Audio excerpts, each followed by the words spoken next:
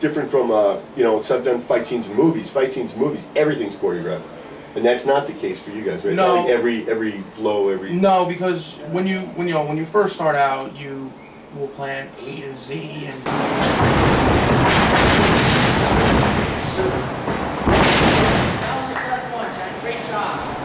you'll go out there. And I've been out in crowds, or some crowds want to see everything you do and they're into it, and then there's some that just don't want to see anything. And know that's where wrestling comes in to being, like I said, it's like being a stuntman and being an improv actor and.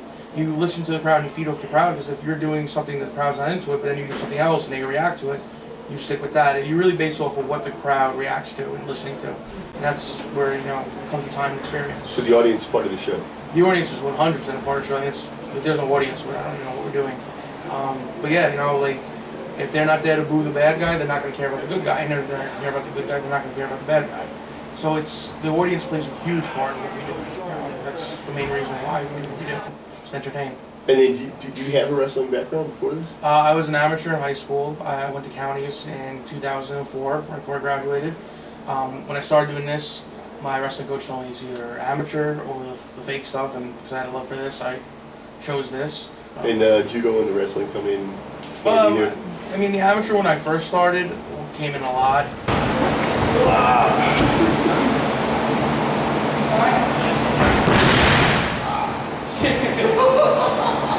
You have insurance, right, Antonio? Oh my god! um, with basically, you know, moving around the ring and being fluent and being used to being connected with another body. But it's a lot different. The, the positioning is different. The tie-ups are different.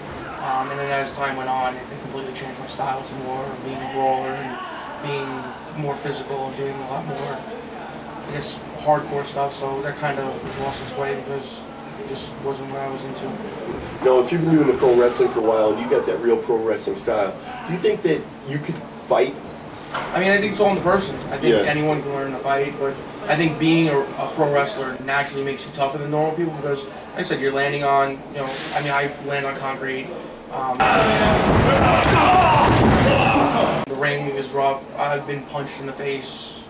So I think naturally your body gets a little hardened to the normal person, but I think with training and, you know, I think anyone can do it, but it also depends on how bad your body is. Yeah. You, know, you got a guy like you know, I've been doing it for ten years. I'm only 27, and I'm not broken, but I feel it every now and then. I'll go to the gym and I'll work out, and I won't, or I go on the treadmill or whatever I'm doing. I my joints don't hurt. You got a guy that's only been doing it for three years. He probably the transition, but So, so how many shows do you wrestle in per year? uh, per year, I mean, that that's a rough one. Monthly, anywhere from four to six a month. Sometimes I'm doing two shows a, on a weekend and a day, like a Saturday.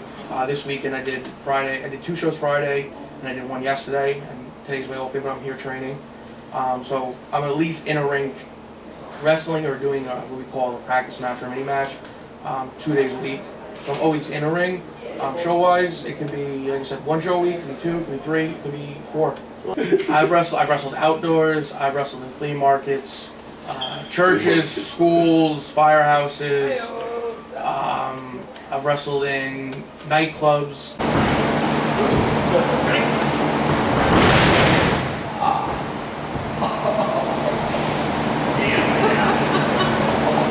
I, I, thank God you're wearing a cup right now. so Someone might have fallen off. If I wasn't wearing a cup, what might have happened? I've wrestled in a strip club slash nightclub. I've wrestled in uh, almost, I'd say almost anything. I've wrestled in. I've wrestled behind supermarkets, behind a- anywhere they put a ring up. They bring fans. I mean, people.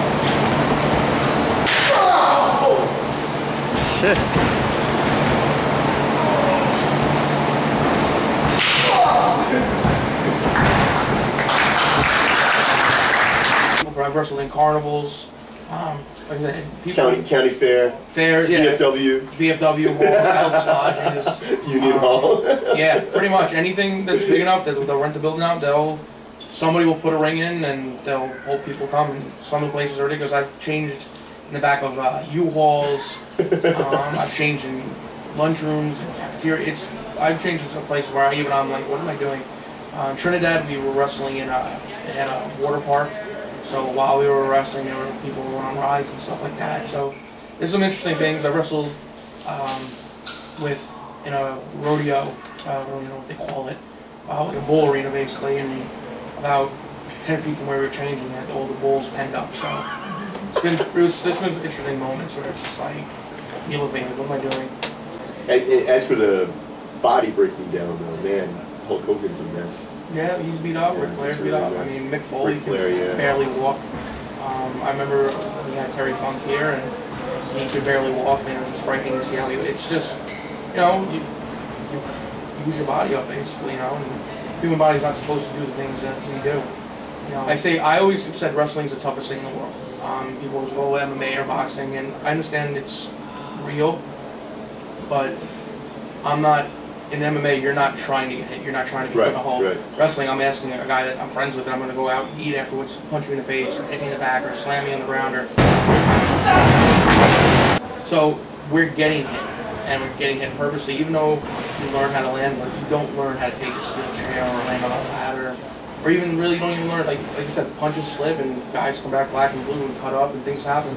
So wrestlers, to me, are the toughest. And guys in WWE, there's no downtime. You know, you're going. They go 300 days a year.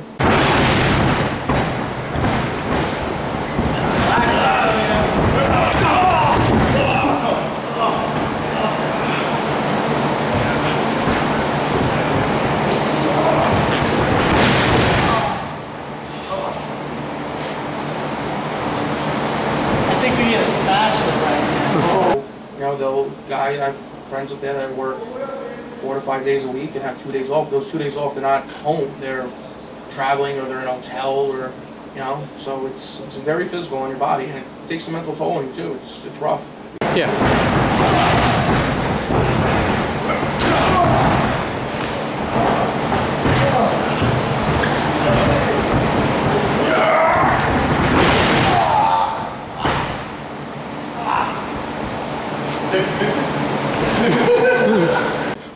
Anything you want to tell the folks at home about wrestling? Anything? I mean, if you never watched professional wrestling, definitely check it out. Um, give it a chance. It's the greatest. I mean, to me, it's the greatest show in the world. It's got everything. It's action, drama, comedy. I mean, it's a movie. It's a live action movie. It's, it's what you're paying for, and tickets are fifteen dollars in advance here at NYWC, twenty at the door. You know, and for that price, you know, food's cheaper than to go to a movie. I think a movie's like 12, 13 bucks anyway, and by the time you buy your popcorn and soda, you're into thirty bucks, and you get three hours, and you get, like I said, you get drama, you get action, you get, you know, horror with the hardcore. You get a little bit of everything, and it's fun. And definitely check out nywc.com and the Facebook and training school if you're interested. That's it, man. This is the place to be in wrestling, man. Long Island. This is it. That's awesome, man. All right, I'm Antonio Graceffo at the Wrestling School.